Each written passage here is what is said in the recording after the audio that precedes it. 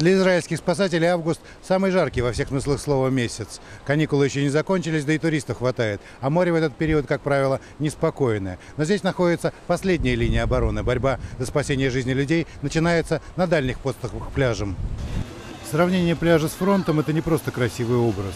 Согласно статистическим данным, теплые, на первый взгляд, ласковые волны вносят в Израиле больше жизней, чем теракты и ракетные обстрелы. Огонь!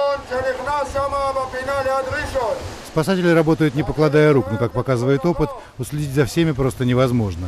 В связи с отменой виз для гостей из России и Украины прибрежным муниципалитетам пришлось вводить новые правила для отдыхающих у воды. Теперь на пляж нельзя приносить питье в стеклянной таре. Как понятно, закон принят не только для того, чтобы уберечь людей от осколков. Солнце у нас очень сильное, алкоголь в таких условиях смертельно опасен. Тот, кто заходит в море пьяным, имеет много шансов там и остаться. Мы делаем все возможное, чтобы не допустить выпивших до воды. В этой работе нам помогают инспекторы и полицейские. Июль и август – самые тяжелые для нас месяцы. Море бурное, а людей на пляже очень много. Будьте осторожны. Мы делаем все возможное, но можем не успеть. На пляжах Средиземного моря в Израиле спасателям помогают муниципальные инспекторы и полицейские. Но даже тройной кордон нарушителей не останавливает.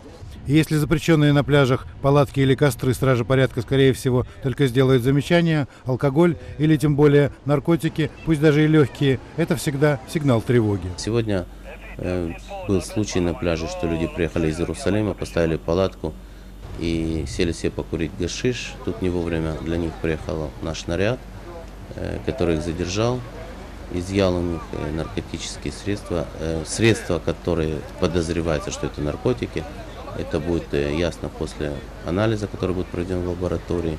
В пригороде Тель-Авива, Батьяме, на 3 километра побережья командование выделило всего 7 полицейских, так что отдыхать пляжным стражам порядка приходится нечасто. На их счету нет громких дел задержания или перестрелок. Зато список спасенных жизней у каждого уже перевалил с десяток. Наша главная задача – дать людям ощущение безопасности не только в море, но и на берегу, предоставить возможность хорошо отдохнуть, не опасаясь за оставленные вещи, защитить детей не допустить никаких нарушений закона. Лето заканчивается, но в Израиле купальный сезон еще в самом разгаре. Говорят, что кому суждено быть повешенным, тот не утонет.